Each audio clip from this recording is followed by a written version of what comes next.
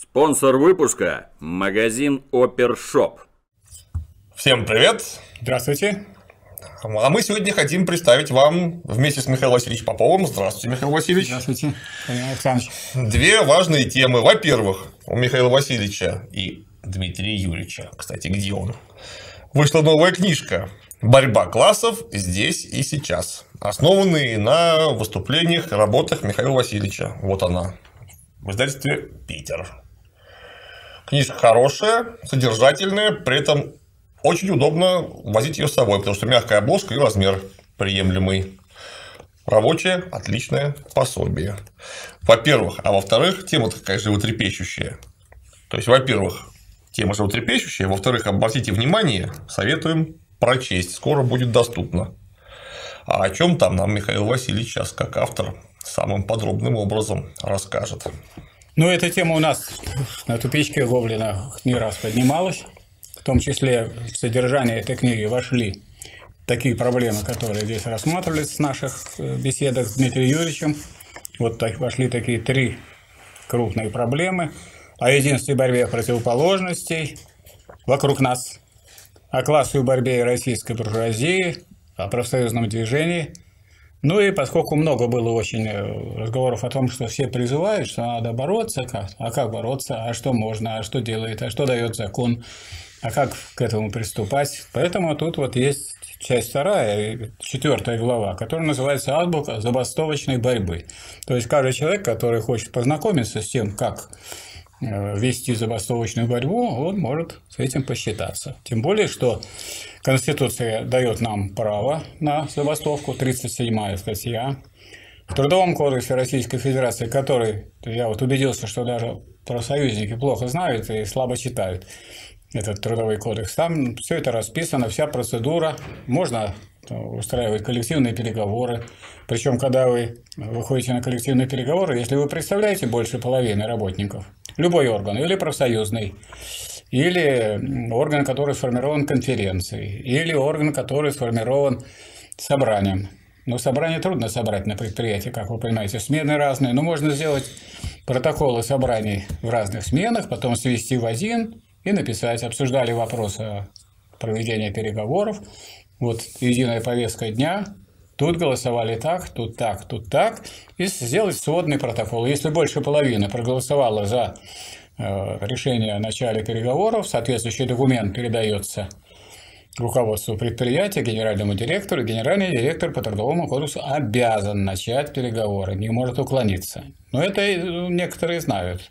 А вот то, что он обязан освободить всех участников переговоров, если, скажем, четырех или пять человек выделил коллектив, вот этих четырех или пять человек э, он обязан освободить до трех месяцев от работы с оплатой по среднему. Причем это не для того, чтобы они сидели, там хватит на переговорах сидеть два часа в неделю. А надо, вы же будете как бы меньшой балда, а большой балда – это трудовой коллектив. Точно так же, как генеральный директор – это меньшой балда, а собственник – это большой. Большой балда. Поэтому иногда вот видишь, такой вроде толковый человек все говорит разумно, а потом раз как стена. А ему сказали, что если ты это вот сделаешь, то больше ты не работаешь.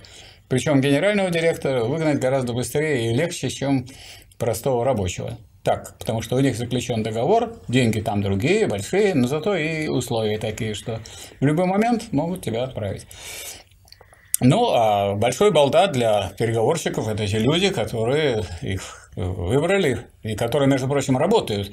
А вот эти могут до трех месяцев не работать. Так вот, они должны после каждого заседания приходить по всем, во всем, пройти по всем бригадам, поговорить, рассказать, получить наказ и уже вот это излагать на следующем заседании.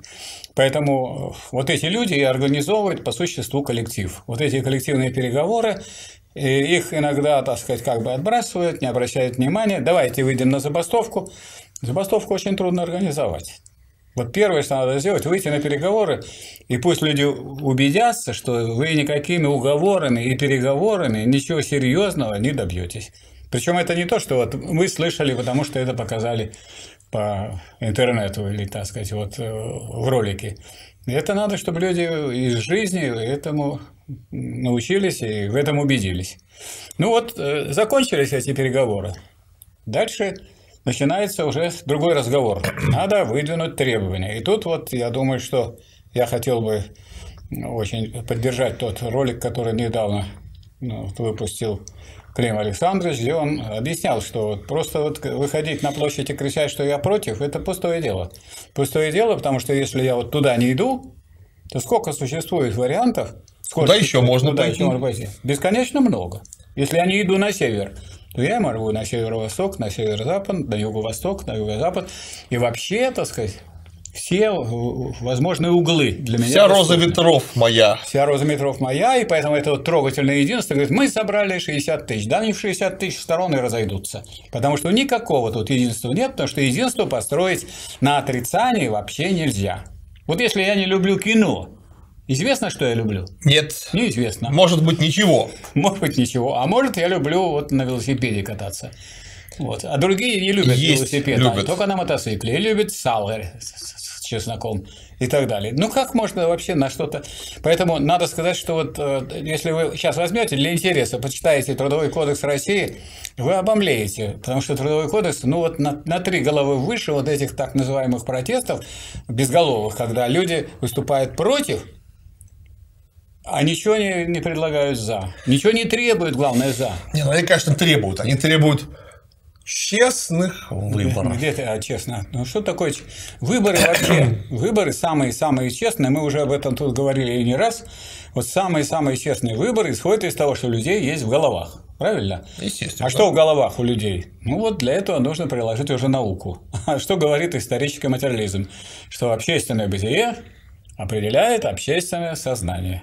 Ну а что, значит, общественное бытие какое у нас в России? Буржуазные, естественно. Ну, значит, какое сознание у большинства? тоже буржуазное. Буржуазное. Ну и что мы тогда будем требовать с этим буржуазным? То есть будем требовать то- то, что есть у тех, кому мы идем требовать. Не, ну, во-первых, только что мы выяснили, что 60 собравшихся тысяч человек, не понимая, что конкретно им всем нужно, не имея единой выверенной цели, они же по поводу выборов-то будут. Ну пусть зарегистрируют. согласны. А те, кто, кого зарегистрируют, они-то что будут делать? Мы что, не знаем, что они будут делать? Мы что, не знаем вот эти все партии, которые э, Ну. выступали по поводу пенсионной реформы? Хоть один человек, хоть один депутат или КПРФ, или Единая Один Россия. проголосовал против. Нет, это, это ну, опять против. Против каждый дурак может проголосовать.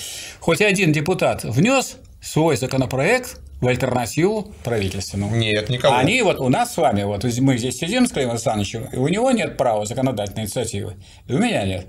И у большинства народа нет А права. у депутатов есть, у, У всех. депутатов есть право. То есть они, это мы можем найти депутата, его уговаривать, если уговорим, он может написанный нами проект вести. Вот я, например, такую задачу решал, когда мы от фонда рабочей академии подготовили с э, Федотовым, согласовали с профсоюзами и вносили в Думу проект Трудового кодекса России.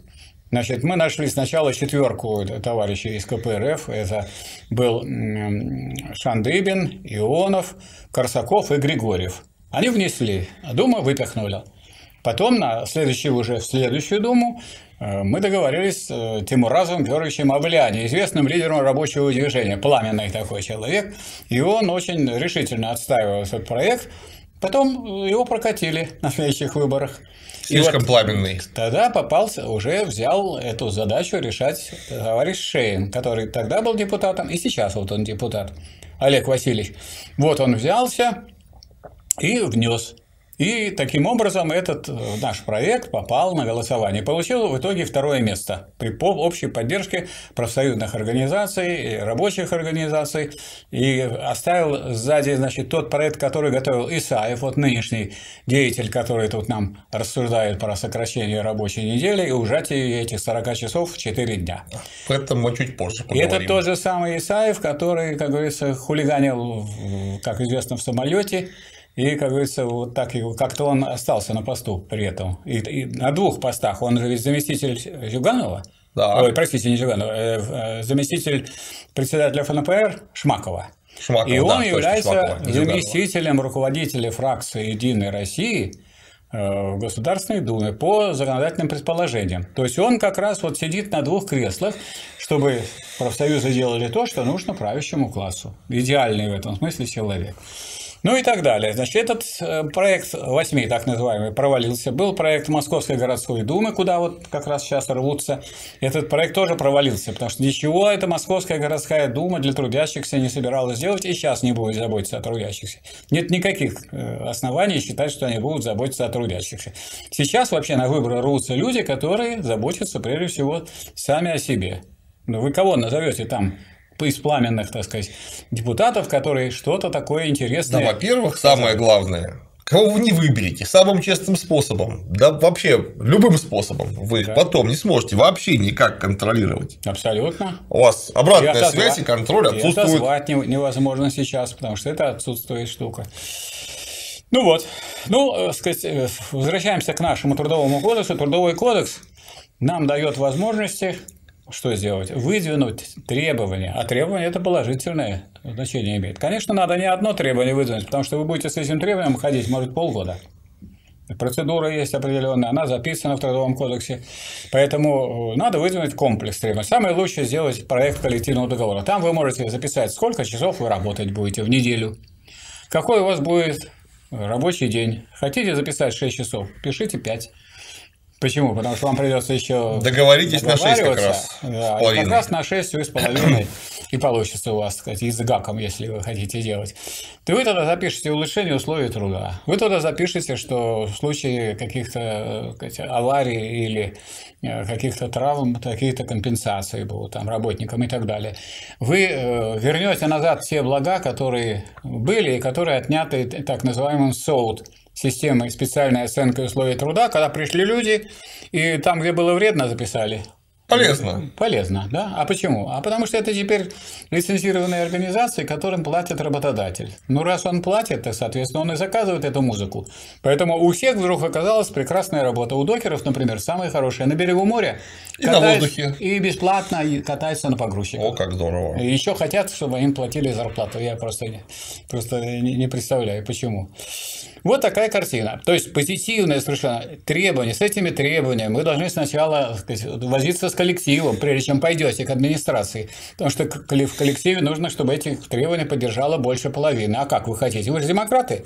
Ну так вот, давайте собирайте больше половины. Если это действительно нужно для трудящихся меры, то их и поддержат. После этого вы выходите, опять теперь уже с этими требованиями к работодателю, работодатель или их удовлетворяет, или не удовлетворяет или молчит. Если он молчит или не удовлетворяет, начинается коллективный трудовой спор. И вот этот коллективный трудовой спор проходит такие этапы, как примирительная комиссия, когда вы неделю разговариваете с своим работодателем, как будто вы не знаете, что он ни на что на это не согласится, потому что вы с ним уже были, имели переговоры, вы знаете, что он против, но тем не менее, процедуру это надо выдержать. Может быть, чтобы не сгоряча бастовать.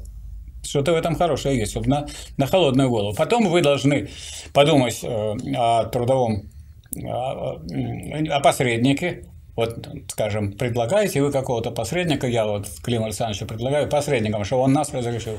А Клим Александрович думает, если я предлагаю, все равно будет соглашаться. Потому что если я предлагаю, возможно, он будет э, делать то, что нужно мне. И взаимно то же самое.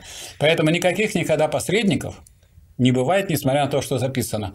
То есть, но нужны переговоры по эту, на эту тему и запротоколировать их. Да, был разговор, стороны отказались от того, чтобы э, имелся посредник. Потом э, трудовой арбитраж. То есть мы должны предложить не из нашей организации работодатель одного, работники второго и государство как совокупный работодатель третьего. Вот такой треугольник, в котором два угла это одну сторону представляет, и один угол только этот несчастный работник. Ясное дело, что если стороны приняли решение, согласились, что будут выполнять, тогда этот арбитраж проводится. Нет, то и нет.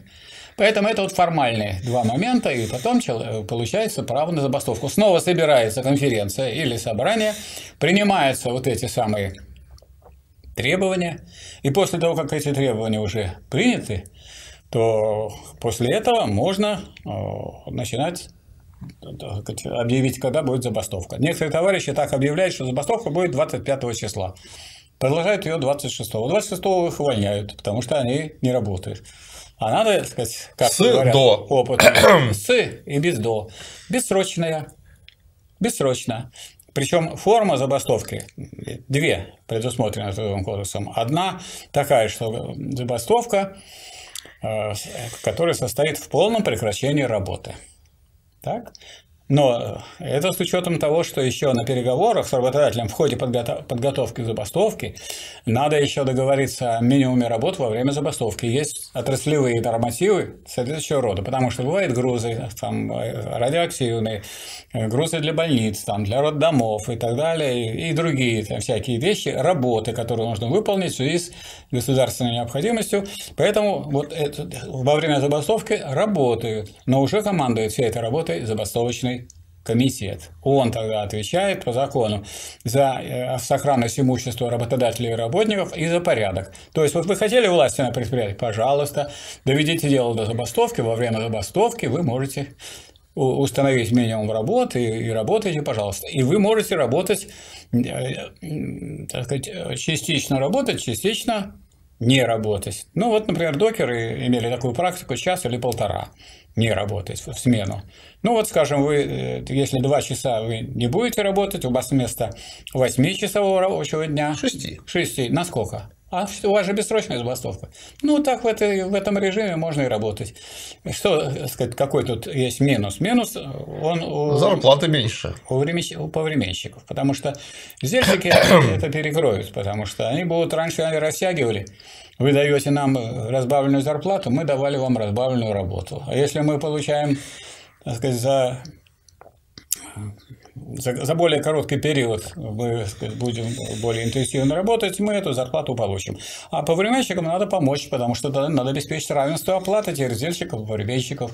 Это, так сказать, забастовщики должны обеспечить. И у них есть все рычаги.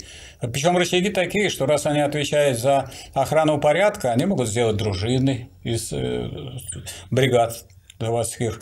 Вот. Научить их э, форму, так сказать, формам единоборству для того, чтобы обеспечить охрану порядка и охрану имущества работодателя, работы. Как кто-нибудь там кто-то украдет, кто будет отвечать? За баском. Вот, поэтому это большая школа такого государственного управления, участия. А вот тот документ, который будет принят, коллективный договор, он, согласно Конституции и согласно Трудовому кодексу, он входит в норму права. Это локальный нормативный акт. То есть это как бы вот закон для предприятия этого. Поэтому для того, чтобы определить, сколько вы будете работать и как, вам, вообще говоря, правительственное решение не нужно. Вам не важно, что кто там пишет, какие письма и как они на что хотят повлиять. Вот я, может быть, немножко упреждаю наш дальнейший разговор. Это мы будем свои позиции высказывать. Но, э, в принципе, права у работников, у коллективов есть. Другое дело, что ну, всякое серьезное дело требует того, чтобы этому научиться. Чтобы этому научиться, вот и мы предусмотрели э, с Дмитрием Юрьевичем вот такую книгу. Имея в виду, что кроме этой книги у нас постоянные выступления идут других товарищей, в том числе Клим Александрович объяснял, что вот забастовки позитивное дело, а вот эти вот пустые протесты – это пустое дело, ни к чему не ведущее. Не, ну может привести на скамью подсудимых. Может привести… Только с непонятными абсолютно целями. Зачем, ну ведь- зачем вы просто так А мы, собираетесь а мы хотим проверить, будет государство. Вот государство нам запретило выходить, а мы хотим проверить.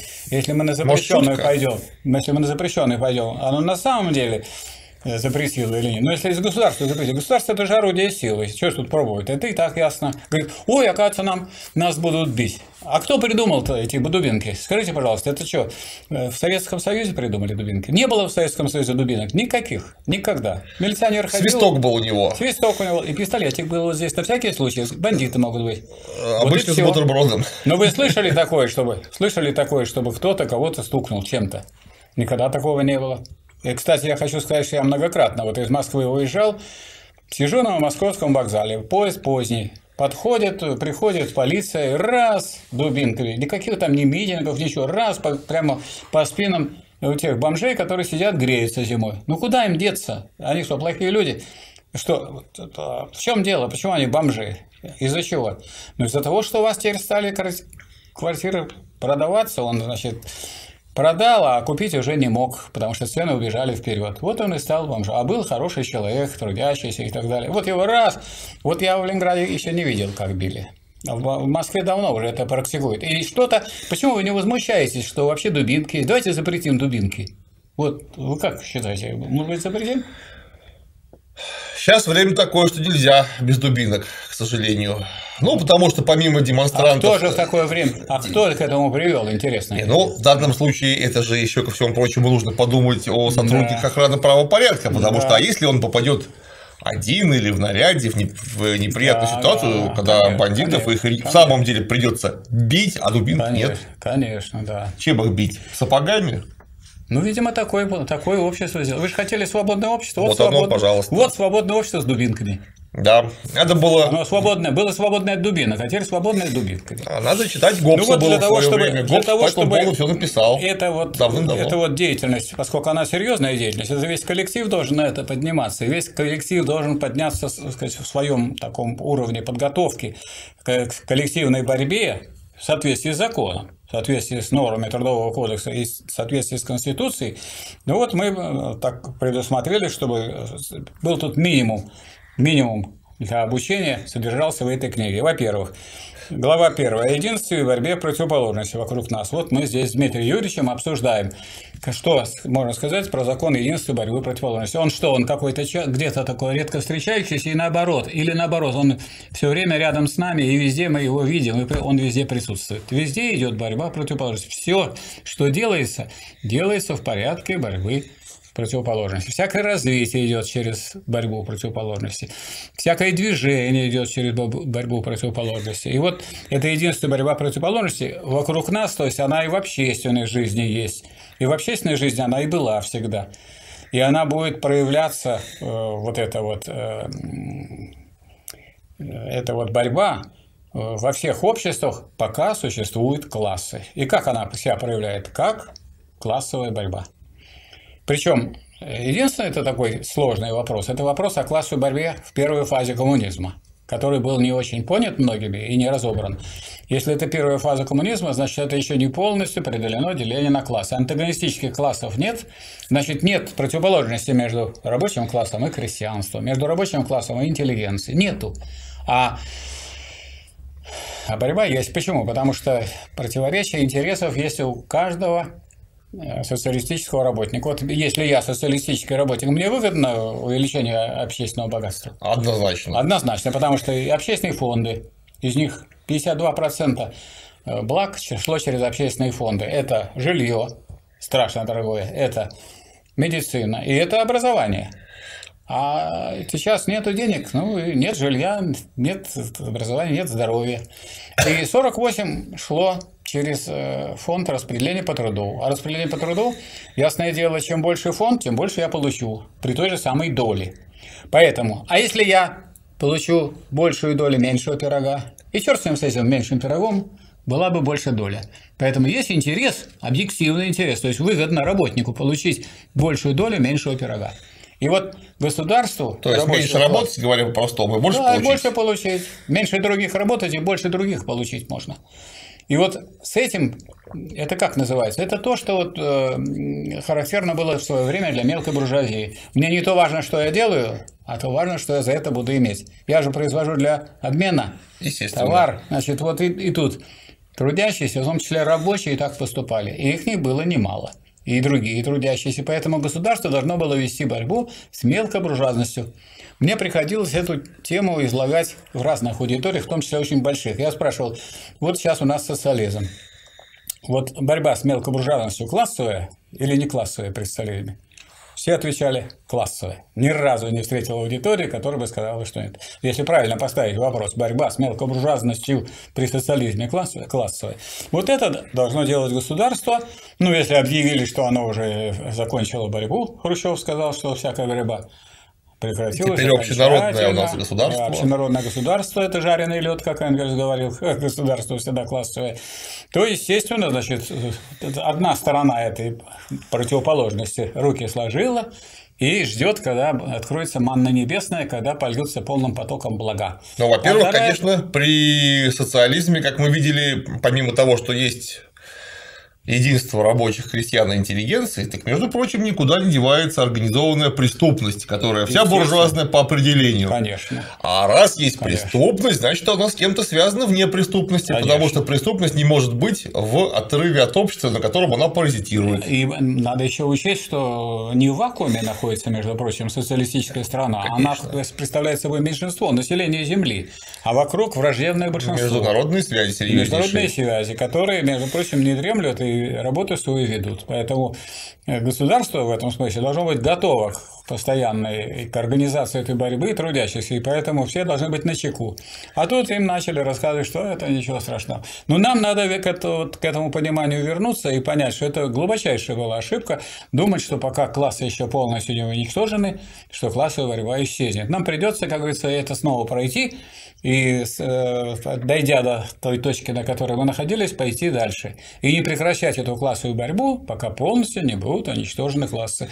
А когда не будет классов при полном коммунизме, что? Не будет борьбы? Будет обязательно. Обязательно. Почему? Потому что, вот, скажем, Сталин писал про борьбу нового и старого. Вот новое и старое. Все время ведь борется. Борьба нового со старым. А новый рождается в меньшинстве же голов. Вот научная истина рождается в одной голове, ну, в двух иногда.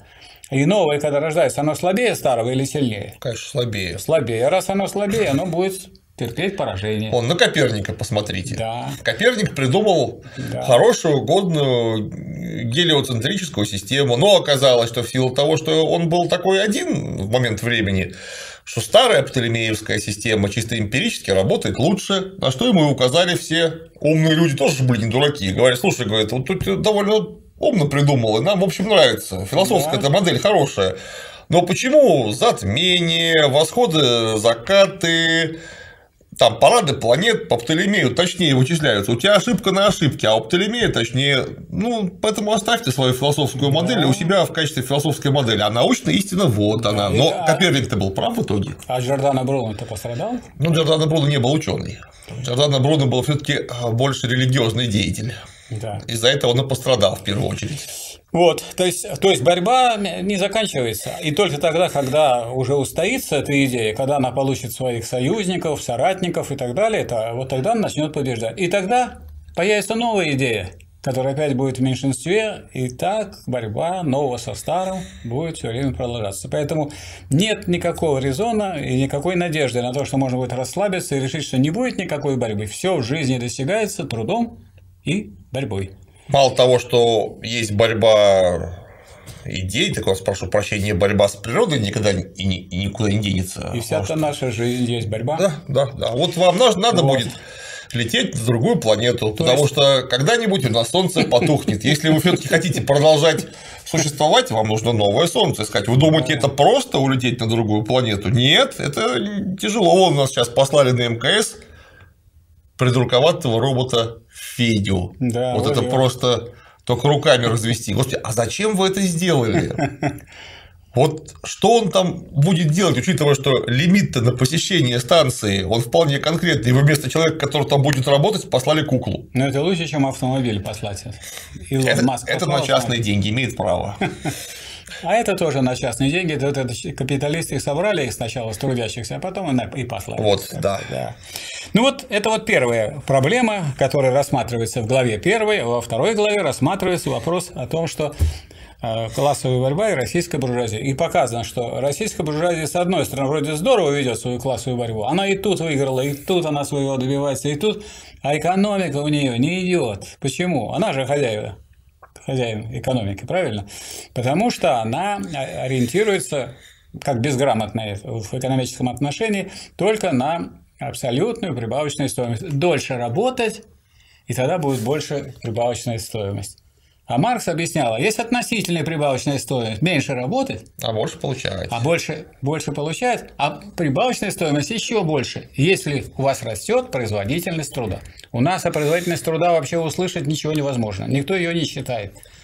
Или Ну, или- считают, ну, как-то закудесно очень. Очень закулисно. А как считают? А считают в деньгах, которые можно получить. Конечно. И поэтому у них получается, что тот какая-нибудь фирма, которая занимается значит, пересчетом денег, у нее там большая производительность труда. То есть ерундой занимается. Надо же посчитать в материальном производстве. Короче говоря, Дело в том, что она не растет. В энергозатратах поэтому, можно еще посчитать. Поэтому надо так посчитать. Ну, посчитать очень просто. Самый хороший показатель производительности труда – это трудоемкость изделия. Если трудоемкость изделия меньше становится, то есть в этом изделии содержится меньше труда, значит выросла производительность труда. Более точного показателя нет. Поэтому придумывать, выдумывать здесь не надо. Просто люди думают, какие бы взять показатели, чтобы не было видно, что производительность труда не растет. Для этого надо что сделать? Для этого надо перевести стат управления в подчинение Министерства экономического развития имени Улюкаева, чтобы они там мухлевали с данными по производительности труда, и по ВВП и так далее. Вот тогда у нас получается, что где-то чуть плюс ноль, как говорят математики. А на самом деле мы болтаемся около нуля. Уже сколько времени болтаемся? Экономика не развивается. То есть в этом смысле вот мы критикуем здесь в главе второй позицию и деятельность нашей буржуазии, потому что она не решает свои буржуазные задачи. Вообще буржуазия, смысл ее такое историческое оправдание ее только в одном – в развитии производства. производства в организации развития производства. Она этим как раз и не занимается. Они только вот рассовывают э, по карманам деньги. Сейчас они вот новую меру придумали, что можно 100 тысяч наличными вывозить. Не 10 тысяч, как было, 100. а 100. Вот эта семейка в 5 человек, значит, выйдет 500, 500 нормально. тысяч. Второй раз выйдет еще миллион. То есть сначала рассказывали, что у нас вывод денег, вывод денег и так далее. У нас можно было в чемодане возить только декларацию. Э, записав, миллион можно было вывести наличными. И э, не, сказать, нет никаких ограничений. Ну, решили это дело облегчить, чтобы рекой просто у нас, чтобы у нас было не государство, а дырявое такое ведро, из которого деньги просто вываливаются наличные туда, за границу.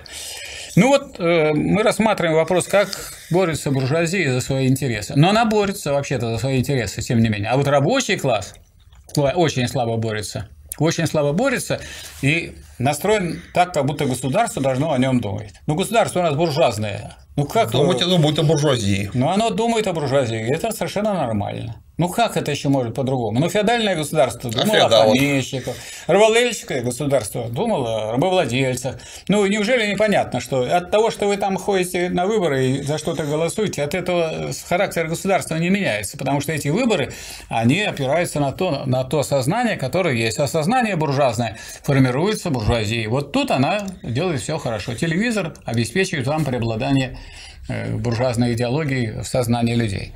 Ну и отсюда следует, ну тогда вы, братцы, сказать, организовывайтесь, ну возьмите пример хотя бы с нашей буржуазии. Хоть она плохонько решает свои вопросы, но она все-таки имеет свои организации, союз промышленников предпринимателей, договаривается о том, какую зарплату установить, чтобы, чтобы вы больше работали, чтобы вы меньше отдыхали, чтобы вы рано на пенсию не выходили. Вот все у нее в этом смысле есть всякие цели, она за них борется, добивается а мы будем только останавливаться говорить, мы против, мы против. Но из этого против ничего не будет. Надо ставить свои цели, выдвигать требования, тем более, что кодекс это позволяет. И вот для этого надо организоваться. Если у Маркса работа, нищета философии, ответ на философию Прудона. нищеты Прудона. И он говорит, что вот рабочий класс начинает бороться за зарплату. Для этого он создает свои объединения по профессиям. Вот это объединение по профессиям называется профессиональными союзами. У нас их все сокращают в одно слово – профсоюзы. И считают, что профсоюз – это вот председатель профсоюза. Профсоюз – это союз работников одной профессии. Поэтому никто вам не мешает создавать профсоюзы. Их не обязательно регистрировать. Нет да, никаких... закон не, не требует Абсолютно, этого. Абсолютно, нет никаких запретов. Другое дело, что э, совсем недавно, после того, как был принят кодекс, защищали профсоюзных работников. Например, по Трудовому кодексу, который прошел в Думе 2001 года, нельзя было без санкции вышестоящей профсоюзной организации уволить э, членов руководящего профсоюзного органа. Потом раз переделали, что можно, нельзя уволить только председателя и заместителя. Тогда толковые профсоюзные работники стали делать 10 заместителей там или 15, вы за спорт, я за 7 ноября, вот там товарищица 1 мая, а это за условия труда, а этот за путевки, ну и так далее. Но какой-то предприниматель написал в Конституционный суд. И этот конститу... Э, такую бумагу, что, дескать, это неконституционно. Дескать, как это так? Вот простые э, рабочие члены профсоюза, их можно уволить, а эти члены профсоюза, они, значит, защищены. То есть, на самом деле, члены профсоюза, они как раз попали здесь, э, как говорится, вышли из окопа на линию огня. Вот как они защищены. И они стали объектом нападения со стороны работодателей. И что вы думаете? Конституционный суд принял решение убрать это. А Конституционный суд действует на основе Конституции. А Конституция, как кто из за нее голосовал? Не один человек. Вот я был членом Конституционного совещания. Я знаю, что было пять проектов. Был проект э, э, Конституции комиссии Румянцева, Верховного Совета. Был проект э, Конституции который, в котором, подготовке которого участвовал Шахрай. Это вот Ельцин его тащил. Два. Был проект Слободкина, который вот я участвовал в его разработке, и публиковали мы его в «Народной правде». И я его раздавал на конституционном совещании в Браунном зале в Кремле. Вот. Был проект Собчака. Собчак ходил, раздавал. Был проект Жириновского. А он, когда телевидение не работает, на него не направлено, он такой серьезный, спокойный человек. Он ходил, всем выдавал значит, проект своей Конституции. А никто ни за какой проект не голосовал. Вопрос был поставлен на голосование такое, признаете ли вы Конституцию Российской Федерации? Вот, вот если вас спросить, после того, как стреляли по Белому дому из танков, вы признаете Конституцию Российской Федерации? Это да. признание Конституции. Если не будете... Это, видимо, вопрос риторический. Это риторический вопрос. Ну, конечно, все сказали, признаем, Конституцию признаем. А вопрос-то должен быть, какой из пяти проектов вас больше устроит. Но для этого надо было их опубликовать.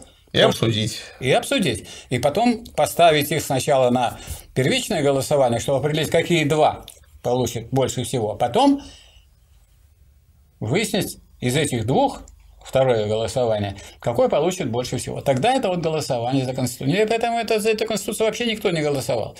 И тут еще она вот это неконституционно. Ну, убрали это у трудящихся, это завоевание. Вот. Теперь куда-то дели 8-часовой рабочий день. Я тут недавно сунулся искать, ну, я помню, что там все записано. Нету 8-часового рабочего дня. Нету. А как сверхурочный тогда считать? Я стал искать, а где же это, как, как сверхурочный считать-то? Ну как, а, скажем, меня спросят, а я вроде как должен ответить, я на эту тему должен занятия вести. Значит, в статье 100 записано, что у нас нормальная 40-часовая рабочая неделя, пятидневная рабочая э, неделя. А, ну, раз так, значит, раздел, разделим, раз пятидневная и 40 часов. 5 на 40, разделим 8 5 выйдет. 40, выйдет 8, поэтому сверхурочные сверх 8. Хотя это уже вот так не написано нигде, что сверх 8. Это высчитывать надо.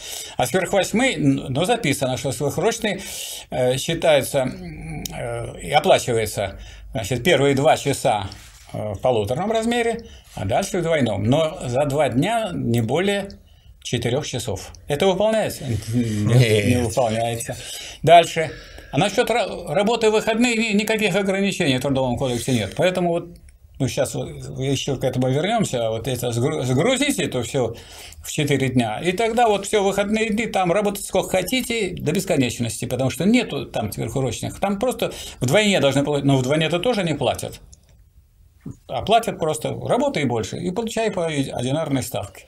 Ну, э, в связи с тем, что эта тема давно уже у нас обсуждается, этот вопрос, стал вопрос о том, что э, пришло новое поколение, новое поколение работников, вот, которое работает на оставшихся предприятиях. У нас за время этой перестройки 70 с лишним тысяч предприятий было уничтожено, а за время Великой Отечественной войны было уничтожено около 30 тысяч. Поэтому оказалось, что перестройка хуже войны. Но пришли вот новые работники, в том числе молодые, и они должны знать свои права, знать, как бороться, как э, к этому делу приступать. Потом надо понимать, что сам по себе трудовой кодекс, как всякий закон, говорит о том, что не надо делать, что нельзя делать. А что делать, на этот вопрос закон не отвечает. Это во-первых. Во-вторых, надо понимать, что буржуазия уже, если раньше она говорила, что у нас департизация, деологизация, она создала свои мощные партии. Вот у нас сейчас есть Единая Россия, Справедливая Россия, ЛДПР – это три буржуазные партии, или можно считать, если понимать, что партия – это авангард класса, это три головы, а, такой суммарный трехглавый змей э, буржуазного класса. Ну и КПРФ, которая поддакивает в основном, сказать, э, она ничего своего не выдвинула, никакого проекта, например, при решении вопроса о пенсионной реформе. Вот она э, и вроде бы как из рабочих, она и за мелкий бизнес, а мелкий бизнес стремится превратиться в настоящий бизнес, в капиталист, в капиталиста. Ну вот, поскольку так обстоит дело в этом отношении, то рабочий класс может только наблюдать, что и профсоюзы начинают все больше и больше подчиняться буржуазным партиям. Исаев – прямо олицетворяет это единение буржуазной партии «Единая Россия». Он заместитель руководителя фракции «Единая Россия» в Думе. Он с докладом по пенсионной реформе выступал же. Да, был и дело он такое. Же, и он же заместитель Шмакова по профсоюзу. Значит, эти профсоюзы превратились такие организации, которые решают вопросы буржуазии. Поэтому больше уже говорить просто о профсоюзах нельзя. Профсоюзы должны быть связаны с партией рабочего класса, а партия рабочего класса – это авангард класса. И вот Она у нас есть? Все спрашивают. Она, у нас есть э, Рабочая партия России, которая, кстати, выпустила заявление. Оно сейчас есть на сайте Московского отделения Фонда Рабочей Академии и на страницах ВКонтакте и Фонда Рабочей Академии и Э, Рабочей партии России э, сохранить и сократить рабочий день. Вот. И эта задача, сказать, ну как сказать, партия находится в становлении рабочего класса. Это общая задача трудящихся рабочего класса. Если партию вы не создадите, э, не сделаете достаточно крупной, мощной и серьезной, невозможно защитить интересы рабочего класса. Почему? Раз это классовая борьба по-серьезному, ну вот надо и относиться к этому серьезно. Буржуазия отнеслась к этому серьезно. Буржуазия вся борется, а рабочие не все. Буржуазия тоже не вся борется. Ну... Буржуазия, по крайней мере, организовалась для борьбы. Она имеет все необходимые инструменты, а рабочий класс пока еще эту задачу не решил. Пока он еще некоторые рабочие думают, что мы пойдем и еще поработаем. Еще поработаем, пока не получит какую-нибудь болезнь, и пока значит, не, не будет вынужден все дела бросить и, так сказать, в тоске так сказать, пребывать.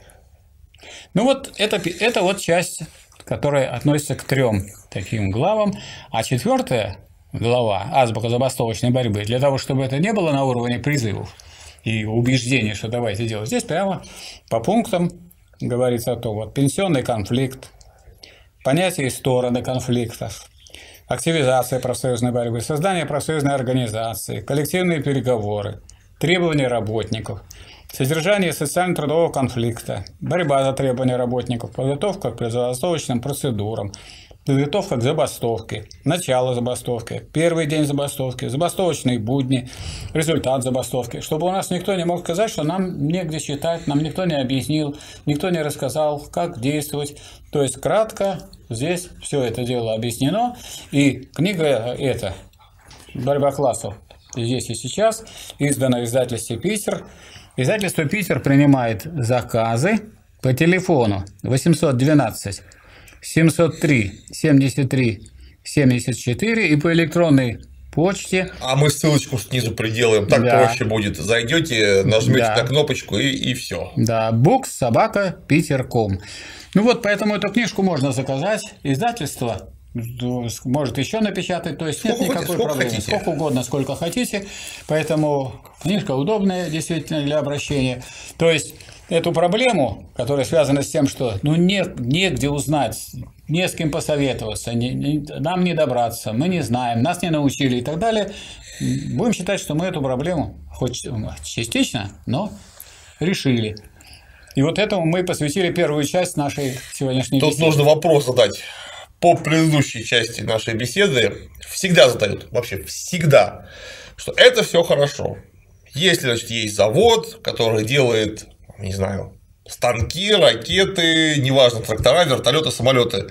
А если это не завод, если человек в магазине работает продавцом или, не дай бог, педагогом в школе, вот ему с кем объединяться, у него в школе там коллектив 30 учителей.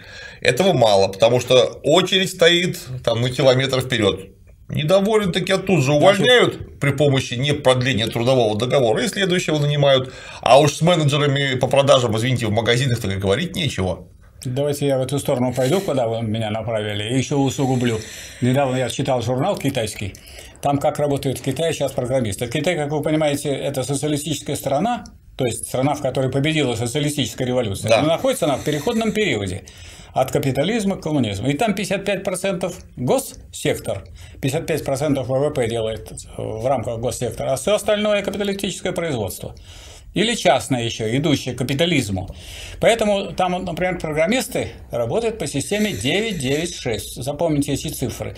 996. Потому что эти цифры, я думаю, это вот тот маяк, которым двигается наша буржуазия. И она хотела бы сначала перевести вот этих слабых людей. То есть легче всего разобраться с программистами. Не будешь так работать, уволим. 9 это в 9 утра надо прийти. Второе 9 это в 9 вечера надо уйти. 12 часов надо работать в день. И 6 дней в неделю, я И полагаю. 6 дней в неделю работать. Вот это 9, 9, 6. Вот он маяк, куда нас направляют. Вот сказать, то, о чем думаю. Идеально. Вот 9, 9, 6. И поэтому надо сказать, что легче всего направить представителей, конечно, той, той сферы, о которой вы стали говорить. Потому ну куда денется продавец в магазин? Ну куда он денется? Никуда он не денется. Какой там коллектив? То же самое. Возьмете вы учебную школу. Ну как там, как там что-то организовать? Там возможно какие-нибудь забастовки? Да нет, конечно. А у врачей? И врачи тоже не врачам могут. вообще нельзя бастовать. Да. Ну, то есть, как бы их за- запрета им нету, но они не будут бастовать. Они же понимают, человек умрет. Какие-то, Хорошо, ты будешь лучше жить, а он умрет. Как можно в этой Да и ситуации? он один еще ко всему Да. прочему. Поэтому надо понимать, что вот отсюда и видно, почему Ленин, э, вот когда говорил о диктатуре пролетариата, он говорил два понятия класса употреблял. Можно говорить весь рабочий класс. Это все, кто производит материальные блага. Можно говорить трудящиеся. Это все, кто трудится. И живут, так сказать, за счет того, что они наёмные работники нанимаются, все. наемные работники. А есть класс, класс, потому что это классификация. Есть узкая классификация, есть широкая. Есть узкая классификация, класс городских, фабрично-заводских, промышленных рабочих. Транспортные не рассматриваются, потому что, ну, вот как вы понимаете, человек в пути, с кем он, как он свяжется, они где-то встречаются на, на несколько минут или на полчаса, и все. Или, скажем, Горэлектротранс, где встречаются, им даже разговаривать кондуктору и водителю нельзя во время движения, а они разговаривают только на кольце, кольце. когда они в туалет пойдут. И все, и поехали снова. Какая там, какой а, у нас 11 тысяч человек, то есть сила вроде бы э, огромная, она не, не- невозможно их организовать. Это очень сложно и очень трудно. Поэтому на самом деле, э, конечно, надежда прежде всего на городской, фабрично-заводской, промышленный пролетариат. И поэтому не случайно буржуазия, она пытается эти предприятия выкинуть из города куда-нибудь, вот там куда-нибудь там. Hyundai у нас уже около помойки построен, Nissan там же построен, ну там же работают не японцы и не, и не французы, а, сказать, русские рабочие, ну и российские, по крайней мере. Поэтому надо сохранять производство, и производство, прежде всего, э, такое, в котором есть бригады, есть коллективизм, который рождается не из того, что мы придумали, что будем организовываться, а он просто сам процесс труда организовывает. То есть надо э, понимать, что прежде всего внимание тех всех политических сил, которые заинтересованы в прогрессе, это помощь и поддержка вот тем рабочим, которые должны начать это движение, а тогда присоединиться к этим рабочим смогут и, естественно, и работники всех других сфер. Ну, например, строители тоже это очень неподъемное дело. Вот я э, могу рассказать ситуацию, которая была в Москве. В Москве было такое крупное производственное предприятие Донстрой. Это дома особого назначения. Дон. Да, Я думал, да. откуда Дон? И вот там работало 30 тысяч человек. Из них тысячи человек – москвичи.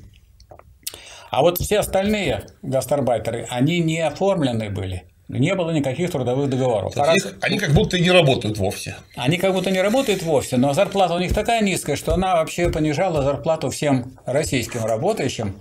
И поэтому русские, московские работники решили остановить работу. Тысячи человек из этих из этих вот 30 тысяч. А это кто такие? Те, кто работает на технике, на кранах, Да. на погрузчиках, на автомобилях, на автобусах, которые возят туда и обратно их на работу и с работы. Как только они остановились, все. Тут пришла прокуратура, тут же ей сразу вы- выдвинули требование, что и займитесь вот оформлением. Прокуратура стала заниматься оформлением. Приехали депутаты. Шейн приехал из Думы, Тюлькин приехал. И в результате того, что вот эти тысячи человек сорганизовались, вот 29 тысяч обрели, наконец, трудовые договора, хотя я хочу сказать, что вот если внимательно почитать Трудовой кодекс, там записано, что если работник допущен к работе, то считается, что с ним заключен трудовой договор. Ну вот не считает Трудовой кодекс. Это что значит? Если у вас есть свидетели, что вы работали, или вот есть результаты вашей работы, которые, или вот вы сняли фотографию, что вы здесь работаете на этом самом рабочем месте, все, с вами заключен, но не оформлен. Ну так надо оформить. То есть это вопрос второй. А некоторые думают, что у меня нет трудового договора. Так ты посчитай, есть у тебя согласно кодексу трудовой договор. То есть не надо себя опускать ниже, чем тебя опускают. Потому что сказать, заключение трудового договора по факту считается.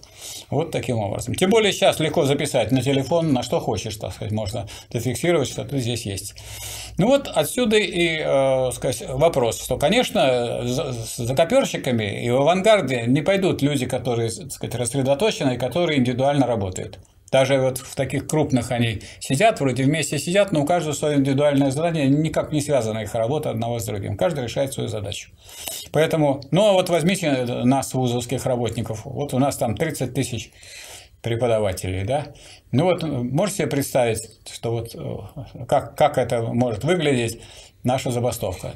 Мы же находимся дома и готовимся к лекциям, к занятиям. И выходим читать в конкретное время, в конкретное место. Ну, если все договорятся и раз, и все вузы разом вот. в городе встанут. Если вот все договорятся на работу прийти, не, а прийти, наоборот, на работу все, вот это будет гром.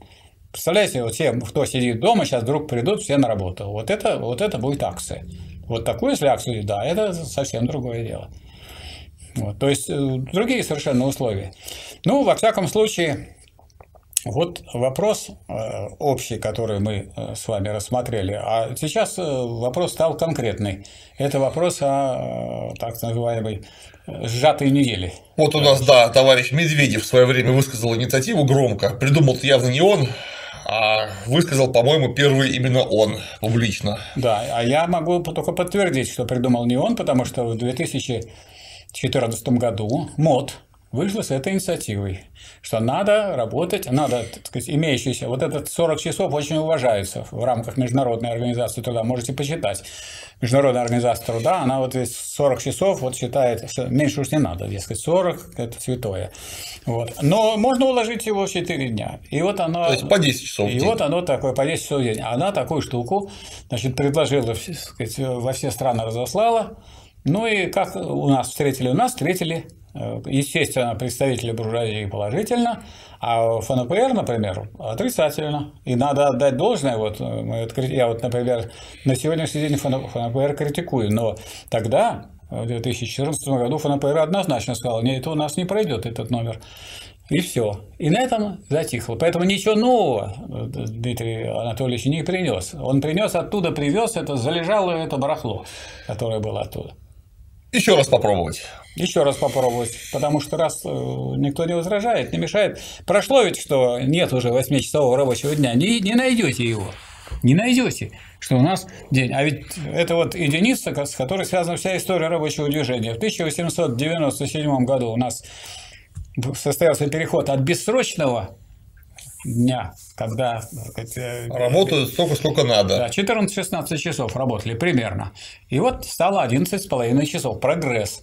Потом, после буржуазной революции февральской, явочным порядком рабочие установили 8. А большевики только закрепили. Закрепили. Закрепили. Не, не большевики установили, рабочие установили себе, кстати. И можно сказать, что и первый раз после больших забастовок Э, царь вынужден был э, издать такой указ. Потому что каждый раз вопрос о рабочем дне решался самим рабочим классом. Так это и не только у нас, во всем мире так. Во всем мире так. Вообще, надо сказать, что и зарплата ну, странно было бы, чтобы буржуазия, которая покупает рабочую силу, она будет э, повышать цены на то, что покупает. Согласитесь? Это, это как-то странно. Это что-то, какой-то шизофрения отдает. Ну, вот если я, я у вас делать. буду что-то покупать, я говорю, давайте я у вас куплю только дороже. Вы скажете, что, что вы хотите сказать? Взятку, что ли, даете? Как, как это понимать? То есть, ясное дело, что только рабочий класс, который является продавцом рабочей силы, он может это делать. Точно, точно так же он больше всего заинтересован в том, чтобы создать для себя нормальные условия труда. И потом, что такое сокращенный рабочий день? И это э, день, э, сокращение рабочего дня, это означает, что сразу комплексно улучшается вся жизнь рабочего на производстве. Условия труда, тяжесть будет не в течение 8 часов, а в течение 6 на него воздействовать. Вредность не в течение 8, а в течение 6. Загазованность там, запыленность там, радиоактивность, все остальное.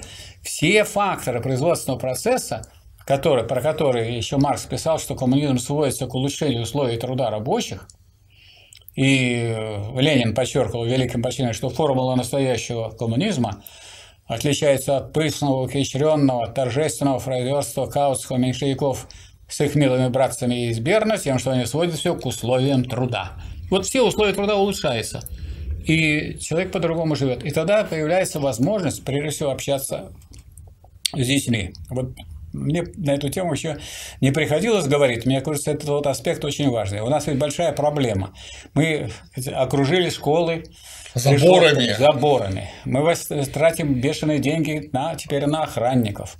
Мы думаем о том, как... Детские сады окружили заборами. И более того, внутри школы, окруженные забором, есть отдельный забор, которым окружена спортивная площадка. То да. есть, какая такая зона в зоне. Да, зона в зоне. Все на замках, иначе никак нельзя. По дворам просто невозможно пройти. Теперь... Вот привык всегда человек вот вместо того, чтобы квартал обходить да. по тротуару по кругу, ну что, ты же знаешь дорогу, ты вышел, по азимуту навелся и пошел через квартал. А теперь... А теперь все, ты упираешься в школу, она обнесена забором, ты ее да. вынужден обойти. Да, да, да.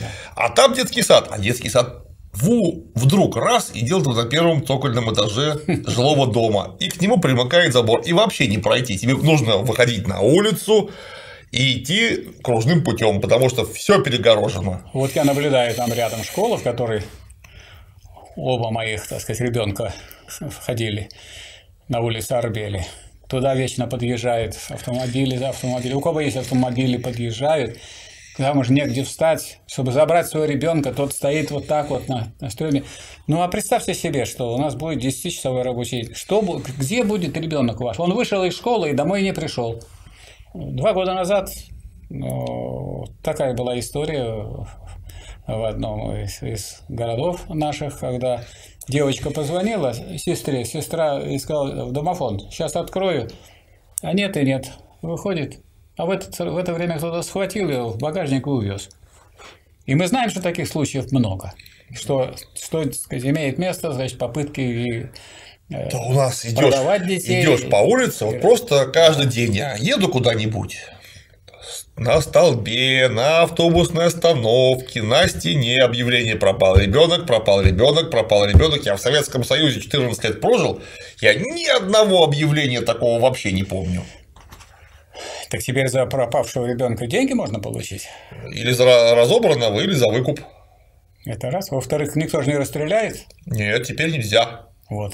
Гуманисты а что с ребенком будет? И вот этот ребенок выйдет из школы, а тут собирается еще добавить два дня, два часа. И это означает, что в рабочие дни 8 плюс еще 2, но там, между прочим, кроме обеда надо тогда еще и перекусывать как-то где-то, ну, если 10 часов.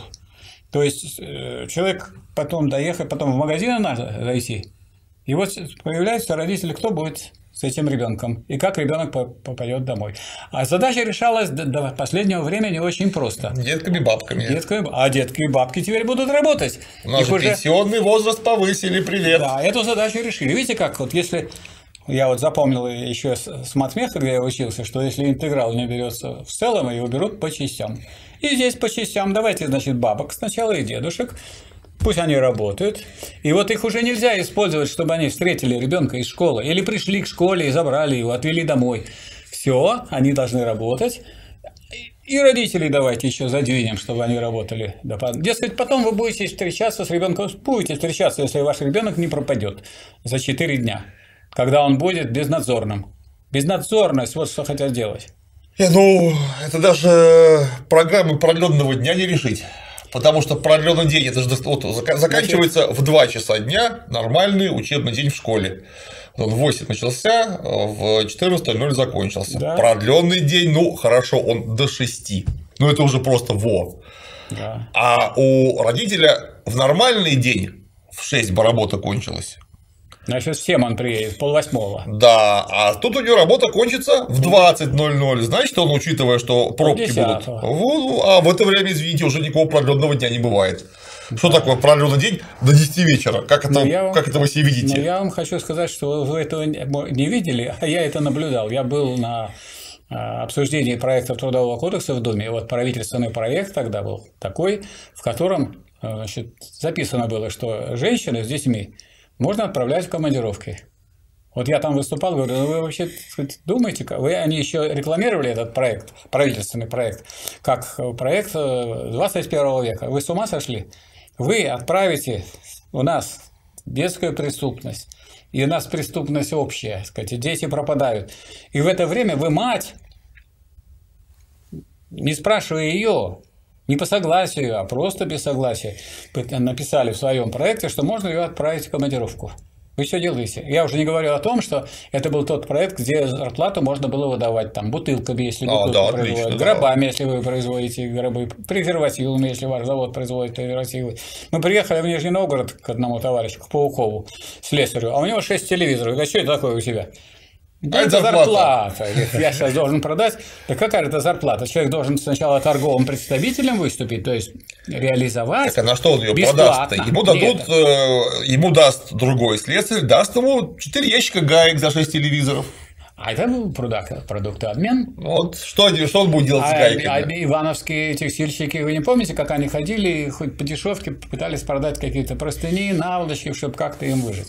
То есть, Помню. это уже было. То есть, после того, как вот мы их разбили, вроде этих негодяев просто самых настоящих, и этот правительственный проект с треском провалился, ну вот, видимо, новые люди хотят новые лавры собрать. Видимо, э, Медведеву недостаточно того, что он выступил по поводу пенсионной реформы, и уже его оценили. И все поняли, что никакой надежды на это правительство нету, и никакой надежды уже на буржуазное правительство нет, и на буржуазный строй нет надежды, и что рабочий класс должен надеяться на себя, и тут он должен быть. а некоторые там выступают и говорят, а может сократят рабочую неделю. Вы верите в то, что сократят те люди, которые удлинили пенсионный возраст? Нет, ну как так вот. можно? Это же глупо, такого быть не может. Это странно даже, да? Вот. Поэтому люди, которые в интернете на эту тему выступают, говорят, ну как может быть, если люди увеличивали рабочее время, только что на 5 лет увеличили рабочее время, вы ожидаете, что они вам уменьшат недельную работу, но вы наивные люди. Наоборот, надо удлинить. А, вот, а план увеличения такой. Вот смотрите, значит, 10 часов. Значит, сверхурочные работы бог с ними. Кто-то будет работать, кто-то не будет в этот день. Сверхурочные – это в этот день значит, до 12 часов. Ну, а деньги почему? Зарплату не повышают, значит, вынуждают людей на это идти. Но зато открывается какая возможность. Смотрите, во-первых, это три выходных, можно в первый выходной выходить 14 часов работать, второй 14 часов и третий 42 часа. Так основное время будет вот там. Да. 42 часа. По идее, если будут платить, как, как положено, вдвойне, то получается такая заинтересованность, чтобы люди все бросали и, и шли и работали это. Идите и работайте. Вот для этого нужно освободить. Это с одной стороны. С другой стороны, а вдруг, если организуются люди, забастовку организуют или трудовые договоры, договора заключат, коллективный договор будут заключать, а взять и на эти вот три дня открывается для штрихбрехеров. Туда очень просто можно направить на эти дни. Ну, когда два дня, на два дня многого не направите со стороны. А вот если четыре дня Основные рабочие работают по 10 часов, это 40 часов. А сюда вот 3 дня по 14. 42. Их не надо по, по, вдвойне им платить. Им можно меньше платить, чем вот этим основным. И на это люди пойдут.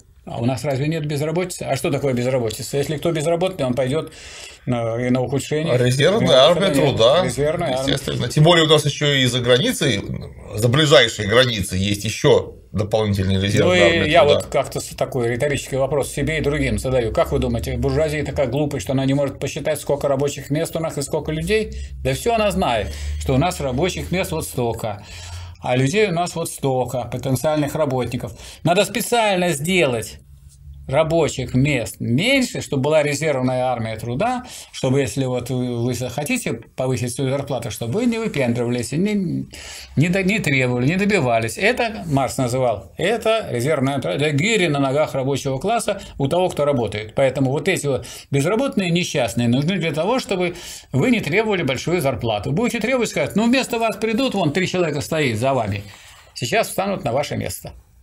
Вот чем, о чем думает наша буржуазия. И это не странно, что буржуазия думает о том, как ей извлечь еще дополнительный доход. Мы же видим, что у нас миллиардеры, уже про миллионы даже разговора нет. Я сегодня открываю вот коммерсант.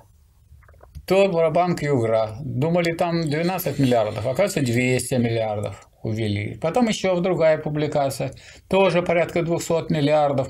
Счет идет на сотни миллиардов, на сотни миллиардов. Когда мы видим это, ну, это значит самое время с рабочим подумать о, о том, как защитить себя. И никакими иллюзиями себя, что вас будут заботиться. Вас уже позаботились, вам уже сделали пенсионный возраст и забрали у вас 840 тысяч рублей. И еще да, у еще вас НДС каждый день да, налоги забирают дополнительно, да. которых раньше не было, а еще специальные поборы дополнительные есть. Так, а вот, То есть косвенные а налоги, вот, по сути дела. А вот смотрите, вот это самое повышение НДС. Это когда большой был шум по поводу пенсионной реформы, как бы это все ни было, одновременно повышение НДС. Это что означает? Для фирм Потом идет перерасчет и возвращают это НДС. А для э, конечного покупателя фирм, ну, скажем, десятки, ну, сотни тысяч даже фирм. А покупателей миллионы. Вот эти миллионы выходят, и у них берут 20%. Вы посмотрите на чек. 20%. Там все написано. Пятая часть. То есть с вас 13% состригают, когда выплачивают зарплату, а эту же зарплату вы всю отнесете в магазин – а раз вы все отнесете, то с нее будет пятая часть снята вот порядка НДС. Итого, еще раз вас постригли, пятую часть, четыре пятых зарплаты у вас останется для того, чтобы вы его отоварили. Вот что делается. Ну, Поэтому... кроме того, у нас же, вот посмотрите, если у вас есть автомобильное средство личное, вы обязаны, что хотите, вы обязаны застраховаться в частном предприятии, что характерно что вообще уничтожает весь смысл страховки. Потому что если я хочу застраховаться, это же, я, это же мой страх, правильно? Я и пойду и застрахуюсь. Если нет, то какого лешего? Это вообще никого не касается. Но уж если вы решили централизованно позаботиться обо всех автолюбителях и автовладельцах и застраховать их автомобильные средства от непредвиденных случаев, всякое бывает на дороге, то почему это все расходится по частным карманам? Объясняю очень просто. Э, что, кто выше, э, буржуазия или буржуазное государство? Ну, конечно, буржуазия. Ну, раз буржуазия выше, она и дает задание буржуазному государству сделать так, как нужно буржуазии. А буржуазия не хочет, чтобы где-то оставалось в государственном кармане, она хочет сразу получить свой. Вот и все. Да, это очень же лишнее просто, очень просто, очень просто решается. То есть вообще надо понять, что и как-то не возмущаться по этому поводу. Буржуазия делает то, что ей нужно. Она борется за свои интересы. Это нормально или ненормально? Ну, волк, например, хочет съесть зайца. Он что будет его есть. Он нормально. капусту не ест, он не ест морковку. Что Ему вы хотите? нужно много белка волк, он да, бегает много. Вот и все. А если вы хотите защититься, ну так если вы не организованы, не боретесь, но ну, вас все будут отнимать. Почему? Потому что слабых бьют. Ну, потому что могут. А почему? А рабочие сильные или слабые? Но если массу взять, они очень сильные. Но если они неорганизованная масса, она очень слабая. Поэтому весь вопрос организации. Надо сказать, что тот же самый трудовой кодекс, о котором я сегодня говорил, это итог классовой борьбы. Потому что э, трудовой кодекс, за этот трудовой кодекс голодали авиадиспетчеры.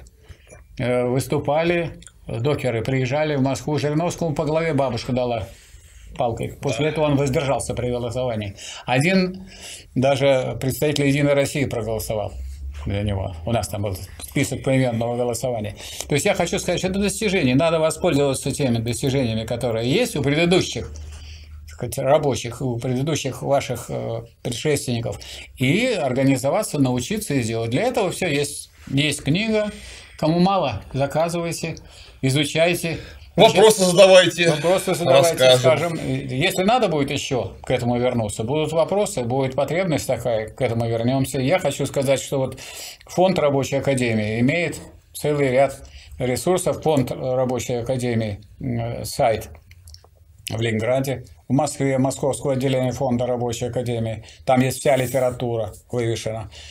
Э, есть Новосибирского отделения фонда Рабочей Академии, есть Северокавказского отделения Рабочей партии России сайт, есть канал фонда Рабочей Академии на YouTube. У нас есть страницы ВКонтакте. Вы знаете, что любую проблему можно поднять вот здесь в тупичке Гоблина, и вы видите, что люди, которые здесь выступают, стоят на страже и на позициях защиты интересов трудящихся и будут стоять. Поэтому такой э, проблемы, что негде сказать, негде найти, негде прочитать, нет. Поэтому требуется, так сказать, выйти из спячки, как вы понимаете. Демобили... Если начинается действие, идет борьба, то если кто-то не мобилизован для борьбы, его разбивает. И наоборот, если он мобилизован, ну, конечно, рабочий класс сильнее, чем буржуазия. Да буржуазии мало, рабочего класса много. Но да, для у нас, этого он должен по мобилизоваться. большому счету, страной управляют 96 толстяков. Вот там была книжка «Три толстяка», а у нас 96 толстяков управляют страной. И ну, что это такое? Ну, 96 семей. Но вокруг них есть какая-то обслуга, которая занимает там еще там 100 тысяч Да. человек, условно Да, говоря. Ну, да. допустим, 100. Ну, а все остальные-то это ваши союзники потенциальные. Давайте как-то собираться в кучу. Ну и потом, наверное, вы, целями товарищи, понимаете, что все равно, несмотря на то, что у нас и контрреволюция прошла, и завоевание социализма мы потеряли, все равно все надеются на Россию. При всех, так сказать, обстоятельствах, которые мы знаем. Все равно надеются на Россию, потому что Россия все равно, так сказать, для многих защитница, и в мире в том числе. Поэтому от того, как себя поведет рабочий класс в России, зависит вообще судьбы вообще мира и судьбы человечества. Поэтому, все равно. Вот приезжал к нам Уго Чавес. Сначала встретится с Саром с Путиным, а потом идет встречаться с народом и рассказывает лекцию про Ленина. Да, было дело. Было дело. Ну, потому что, или, скажем, та же самая Венесуэла, дайте нам 100 тысяч автоматов, попросили у России. Правильно? Или Фидель Кастро ни с кем не, не встречался уже больной, а с Путиным встречался. Почему с Путиным? Потому что он представляет Россию. А Россию представляет как продолжение Советского Союза. И никуда от этого уже не деться. И если, вот скажем, события, которые произошли с возвращением Крыма, так это возвращение связано с тем, сделали так, как и было в Советском Союзе, до хрущевских вывертов, когда он взял и, как бумажку написал. И теперь за эту бумажку пытаются некоторые товарищи уцепиться, в том числе и внутри страны, и говорят, как это так, мы захватили. Да там каждый камень полит кровью русской Крыму. Ну, он, строго говоря, конечно, и украинский тоже полит. Украинский это же был Да, конечно. один народ. У нас нет Украины, это не братский народ, это один народ. Я это говорил, говорю и буду говорить, что брат – это вот человек, который живет от тебя в соседней квартире, но рожденный одной мамой, одной папой. А, а украинский народ – это рука и нога. Вот это же не можно сказать, что Но мы у меня вот эта братская рука для левой руки. Такого не мы- бывает. Но мы же знаем, что сколько украинцев у нас работает. Вот я был на кафедре, например, управления планирования социально-экономических процессов, которой руководил профессор Моисеенко. Моисеенко э, из Чернигова. Вот, украинец. Э, Жена, жена у него русская, а две дочки. Одна дочка младшая записалась украинкой, старшая записалась русской. Они вроде разных национальностей.